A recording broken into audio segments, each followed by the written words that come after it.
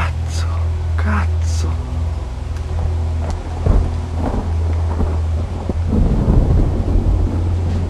Dicevano che era oggi, ma non pensavo che erano più oggi. Ci hanno detto che era in questo anno.